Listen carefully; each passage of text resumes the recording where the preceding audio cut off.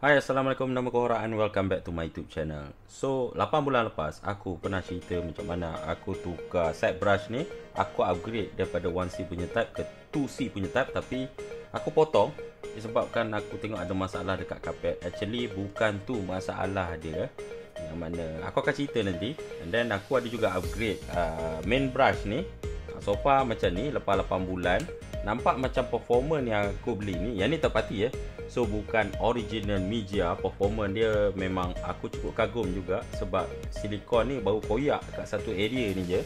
Ha, Lain-lain tak koyak lagi.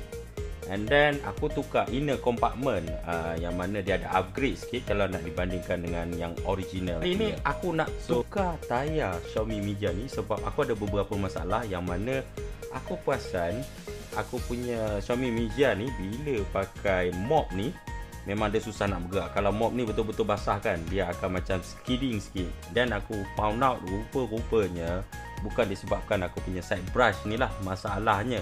Ha, walaupun aku dah potong tapi aku ada backup untuk pasang yang baru pula. Ha, yang ni adalah disebabkan dia punya main roller. Ha, so main roller ni luar ni dia diperbuat daripada getah. Tapi disebabkan uh, meja ni aku dah beli lama dah dari sebelum Covid tak silap aku 2020 2021. Lama juga aku pakai dan sampai sekarang performance dia masih lagi mantap. Hanya perlu beberapa maintenance kecil. So aku akan tunjuklah macam mana aku tukar roller ni. Pada yang baru pertama kali sampai kat channel YouTube aku jangan lupa klik subscribe dan jangan lupa share video ni kalau video ni bermanfaat tolong bagi like. So, jom kita teruskan ke segmen seterusnya. Asal benda boleh ulas. Untuk dismantle, uh, kalau macam yang lain-lain, korang just perlu cabut je. Tapi untuk capai roller tu, korang kena buka lah beberapa item. Uh, yang pertama, uh, main brush ni. Yang mana uh, korang perlu buka uh, main cover ni nanti. Uh, mop ni juga kena keluarkan. Lepas tu, kau ada beberapa set screw untuk cabut. Ha, Set brush ni pun kau kena keluarkan dulu. Ok Tak tepi. So sekarang ada 1, 2, 3, 4 5, 6, 7, 8 So ada 8 skru yang kau kena cabut Untuk korang access dekat main roller ni nanti. Lalang aku dah access bahagian ni. Aku just perlu buat sedikit clean up lah macam ni habuk-habuk yang dah masuk sampai ke dalam uh, bahagian roller dah masuk ke dalam bahagian side brush ni. So aku just perlu buat macam minor clean up. And then yeah, bersihkan mana yang perlu. So untuk korang cabut uh, roda utama kiri dan kanan ni ada tiga skru uh, kat tepi ni di celah lubang ni and then dua lagi kat bahagian atas. So that's why uh, aku tak boleh pakai aku punya automated screwdriver. Aku kena pakai manual punya screwdriver sebab uh, yang automated tu dia terlalu besar. Uh, roda utama tu macam ni yang ni yang belah kanan. Yang belah kanan ni dia tak berapa nak haus sangat dia punya getah tu. Tapi still alang-alang kita cabut kita tukar dua-dua lah. Untuk harga satu unit ni kat Shopee lebih kurang dalam RM90 lebih kurang So kita tak nak tukar. One whole set Kita just nak bawa keluar getah ni sahaja.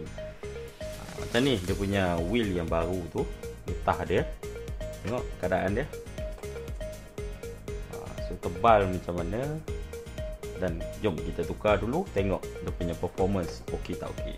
Untuk case yang belah kiri ni ha, Aku bawa pasan tadi lepas aku cabut Rupanya kalau nak dibandingkan yang aku beli ni Dalam dia memang uh, clean surface lah contact dia. Aku tak tahu macam mana aku nak pasang Sebab getah asal dia tu dia ada lubang-lubang. Rupanya yang berbonggol-bonggol tu adalah Plastik tu. Untuk case macam ni Dia dah betul-betul botak kan? Ha, Yang nampak tu adalah plastik yang pegang tayar tu sebenarnya. So kita try je lah Sama. Ada boleh pasang ataupun tak boleh pasang nanti. One eternity later. Sebenarnya aku ambil masa 2 minggu juga untuk decide apa yang aku nak buat. Lepas aku dapat tahu yang mana ya aku silap beli parts tu. Nak return pun ya memang murah. Tapi aku cari balik parts dia ada dua version. Untuk meja 1C 2C ni dia punya roda tu dia ada dua version. Sebab Xiaomi memang tak ada produce uh, parts dia yang aku punya ni version nombor satu yang mana dia ada tab ni. And then aku try cari balik Memang aku kena spend banyak lah Untuk beli motor ni. Yang mana aku tahu motor ni elok lagi. And then end up Aku tak akan dapat uh, Tayar getah untuk Mijia 1C Untuk version 1 So aku decide Dua minggu juga aku fikir Aku fikir satu-satu. Aku pakai pisau hobi ni lah. Pisau ni Senang sikit nak buat Dengan dia punya mata dia tu Kukuh. So ya. Yeah tapi kalau nak pakai pisau biasa Pisau lipat ke pisau yang biasa Blade cutter tu kan Memang aku rasa akan ada masalah lah. So aku kikir satu-satu layan Sambil layan, layan drama kan. So aku berjaya jugalah Untuk buang uh, ke semua tab ni. Dia tak adalah licin sangat. Aku rasa aku perlukan juga grip tu Supaya getah tu stay in position. Now aku sekarang aku dah boleh letak aku punya getah ni. So next time kalau aku punya tayar ni haus lagi aku tak ada masalah untuk repair. Sebab motor kalau elok lagi aku tak perlu tukar. Aku just perlu tukar getah sahaja. Siap senang. Macam tu je. Sebenarnya untuk uh, benda ni pun dia ada jual dia punya cover tapi cover dia tu aku baca review banyak juga isu ada orang yang beli. Sebab kalau kau tengok kat sini buffer dia tu taklah tinggal banyak sangat gap dia tu. Dan benda tu bila dia bergerak dan melekat dia akan ganggu kau punya wheel ni lah. So itu aku tak tahu macam mana. Tapi yang tu yang aku baca banyak testimoni feedback dia macam mix review. Ada yang okey ada yang tak okey. So sekarang aku dah kikis so aku boleh tukar bila-bila masa. Dan nak tukar dia pun tak susah. Why not? Aku tak perlu letak at least Aku harap getah yang dia bagi ni ha, Ni kita lah Bukan OEM Xiaomi punya. So aku tak tahu boleh tahan ke tak. Dia punya Kalau kau perasan Dia punya Contact dia tu Dekat sini. So dia Dekat slot tepi ni. Ada dia punya connector. Dia macam connector PC juga. So benda tu mudah je lah. Ha, Dan korang takkan tukar kiri dan kanan. So sekarang kita pasang balik dan kita buat dry run macam mana.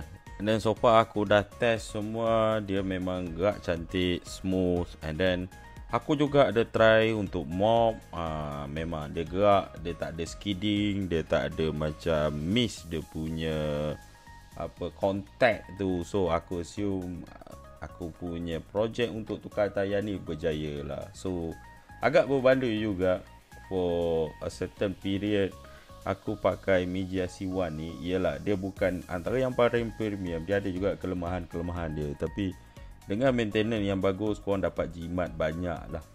Sebab aku pernah beli vacuum handheld tu uh, still bagi aku aku tak berpuas hati disebabkan dia punya bateri yang tak tahan lama. Aku punya Mijia ni pun not bad. Dia punya bateri so far masih lagi uh, well perform lah So sekian saja ulasan aku berkenaan aku tukar tayar untuk meja C1. Terima kasih kerana sudi menonton sehingga kita bertemu lagi. Assalamualaikum.